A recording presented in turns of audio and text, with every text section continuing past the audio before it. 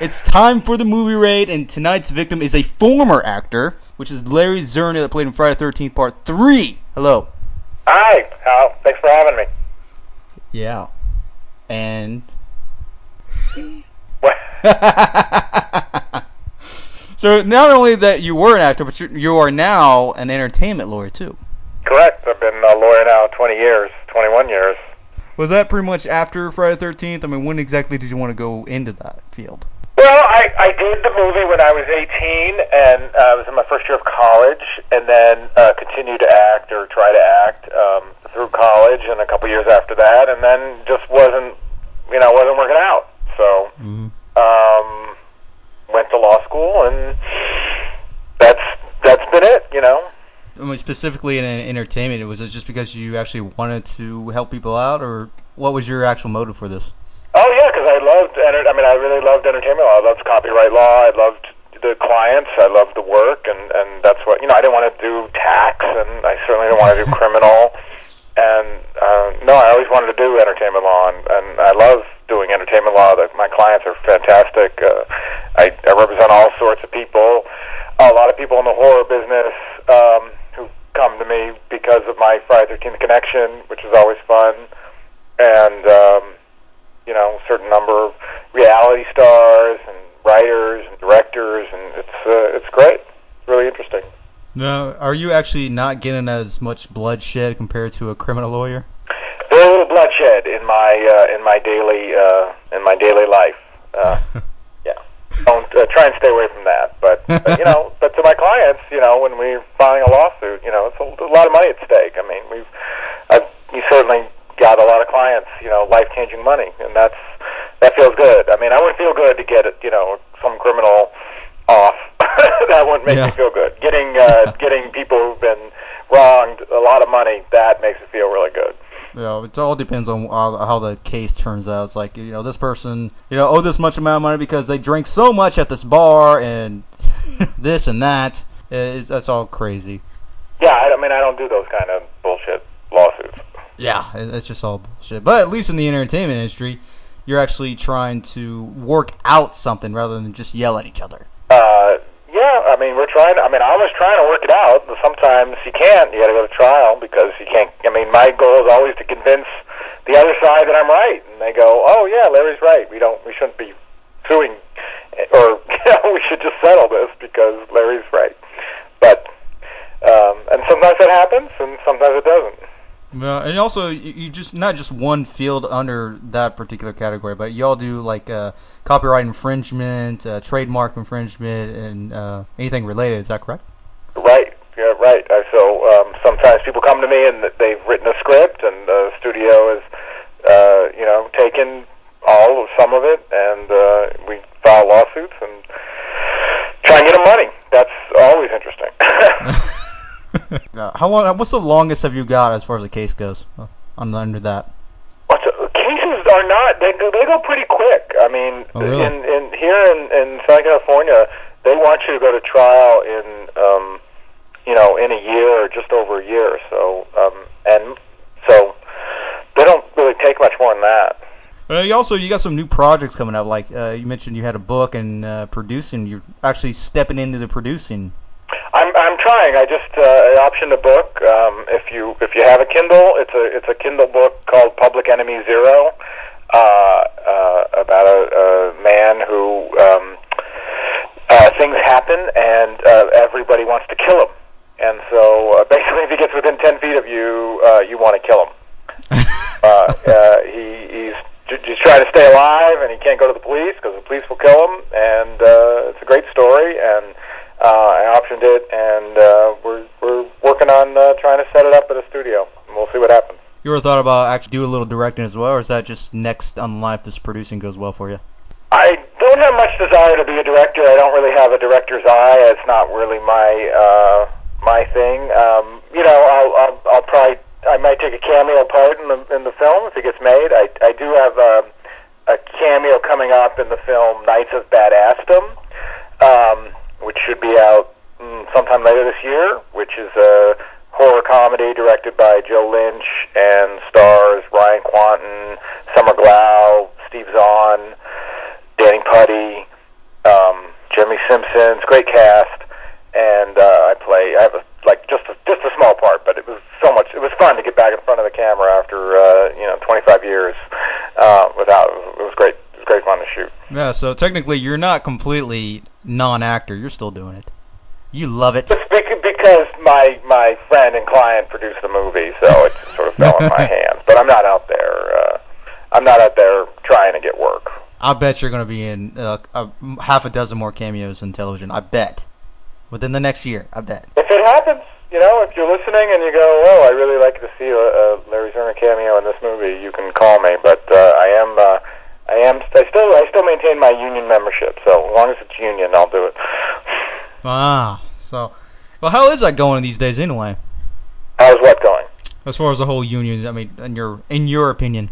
Uh, well, I mean, I don't get too involved in the in the SAG politics, uh, which are plentiful, and now at the moment there's a huge story be going on because SAG and AFTRA, which AFTRA was mostly was the radio and television union, and SAG was the movie union. Though that's crossed, they've crossed lines a lot over the years, and they've been talking for 30, 30 years at least about merging, and finally they're actually going to merge, and the vote is going to take place in a month, and that's uh, that's the big story in um, in the union world, and we'll see what happens if that actually happens. I don't think it's going to affect my life too much, but uh, are you for that though, or are you just pretty much whatever? Uh, I, I I guess because I don't really act so much, I don't uh, I don't try and take a position in it. it's Yeah. like uh, I, I don't. I feel like I, I need to ma- uh, abstain. I don't want to. I don't. It's not going to affect. It's because it's not going to affect my daily life at all. Yeah, because you're a lawyer. Speaking of which, uh, as far as back to the copyright infringement, what what problems do you think should still be resolved as far as this goes? Should Well, be- here's the one thing that I that most screenwriters who come to me, the one thing they don't know that they need to know, which is that if you if you write a script, you need to register it with the Copyright Office, not the Writers Guild, because people come to me and they say register with the cop with the Writers Guild, and the Writers Guild is just a waste of your money. The the point of first of all, it only lasts five years, while the copyright registration with the Library of Congress lasts till seventy years after you die. So just on the time frame, that's important. But but even more important is in a lawsuit for copyright infringement, you only get your attorney's fees if um, you've registered before the infringement began. And since most you don't really know about infringement until you hear the movie's coming out, at that point it's too late. And and you may have registered with the Writers Guild. I mean, this happens all the time. They've registered with the Writers Guild, and they go, "Oh, I'll register now with the Library of Congress." And I go, "It's too late. The infringement already happened. They already made the movie." Uh, and so, you, if you sue, you won't get your attorney's fees, and you won't get statutory damages, which is which can be substantial. And these things really drive the settlement of a case. So, if you're listening to this and you're a screenwriter and you want to write, um, and, and, and you're and you're going to protect your script, please register it with the Copyright Office. If you go, I have a blog. Um, uh, it's copyrights and wrongs. Um, you can access it at my website from uh, zernerlaw.com. There's a link to my blog, and on the blog there's a whole uh, post about why the Writers Guild is a waste of your money. And uh, if you don't believe me, read that article, and you'll you'll understand. The same thing with trademarking. There was a completely different side. Yeah, trademarks are different. How do you see film as a whole, in general? Political, or do you think it's some kind of a, a big machine that just spits out shit? Or what's your opinion? Well, I mean, there's there's really two different kinds of films. I mean, there, there's there's there are the, the you know when you as you get in and, and watch the sausage being made, you can see that some films are merely products. They just are. There's no like every like when I was young, I'd go, why did they put that actor in that movie? He sucks. You know, why do they keep using them? And why aren't they using you know better actors? And you know, but because it's all about well, this actor can get him this money, and they can get, you know, and we can get some pre-sales, and we can sell foreign territories, and we can defer some of the costs. And it is a business because they're putting, you know, I mean, I know it's always a business, but they're putting so much money in in in, in these films, the the big blockbusters, the the the comic movies, and the and the Harry Potters. You know, there, there's very little ground for for experimentation, and you know, they just you know, it's it's we're going to make these elements, and that will get it back, and so that's you can see how that works. And then there's the the, the other films that are really made, you know, for passion. I mean, when you look at a movie like The Artist, which is you know, who thought that a black and white silent movie done by French people, you know, is right now the full, the front runner for the Best Picture Oscar, and is a huge commercial success. And those people who put money into this were taking, you know, a risk like you know, you know, you like you can believe, and and and it paid off for them. And that's that's because they had a real love for for the movie. So you, you see both kinds of movies because you know I'm always wondering when you see certain movies come out, you go, who who decided to put the money into this? I mean, I, something like Man on a Ledge, which I didn't see, and maybe it's maybe it's fantastic, but uh, you know, it just was what? It's a man on a ledge, and it was like that's the premise, and that that you're going to put forty million or fifty million dollars into Yeah. to making. It just seems sort of uh, crazy. Um, and so I'm, I'm always, you know, I'm always sort of taken out by what's going on. But you know, any movie, you know, movies can make money. You just got to make sure you don't spend too much money on it, and that's always the the hard part because people always want to. Studio never wants to give you enough money to make the movie you want to make, and so always an issue. It was like in the early days, you know, what back in the '80s is like where they're trying to make more money, but they were given little money, and some of the films actually make it, but then of course then it takes like what 20 more years just to get this film to actually out there and actually make money after it was already done 20 years ago. Well, and I mean, you know, at at the time back then, you know, there weren't as many options for Yeah. for people. So movies, I mean, you know, the the uh, I mean, I think attendance is up at movies. People are going, but they're still they go to the they you have to bring them in to, to they only want to see blockbusters. Hard to make money with dramas. I mean, see the movies like I mean, Moneyball and Descendants, which are both very good movies, but I don't think any of them were, you know, would anyone could say they were super big hits. Um, and you know, but so to make and and they, they got big stars. To ma- but to make a a d- serious drama without big stars, or you know, is, is very very risky. And even with big stars, you can you can you can take risks.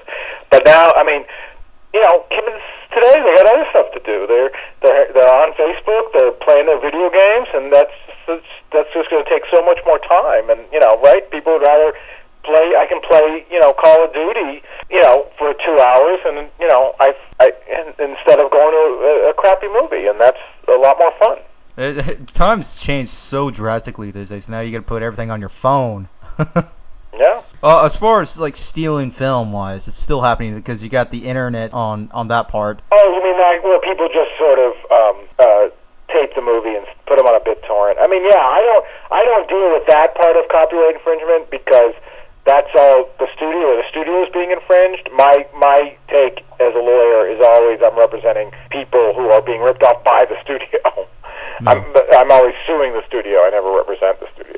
So it's a different form of copyright infringement. Oh yeah, it's not just based on one spot. of course, that would be a big fucking mess, wouldn't it? Uh, it would be. It would be. Yeah. Plug in your book again uh, that you mentioned. A little bit more about it if you It's not can. my book, but I. Uh, I mean, the one that you I mean, It's a great book. It's a great read, and it's only ninety nine cents. So if you have a Kindle, I, I recommend it highly. It's called Public Enemy Zero, and uh, I'll plug my website, zernerlaw.com. If you need a lawyer, entertainment lawyer, give me a call. I'll talk to you, and uh, look for me in Knights of Badassdom uh, sometime uh, sometime this year. And I don't know when the, the film's being released, but later in the year probably. And then uh, if you're in Germany over the summer, I'll be at a I'll be at the Camp Blood, Blood Convention in uh, somewhere in Germany, somewhere uh, on August uh, 10th. Well, there you go.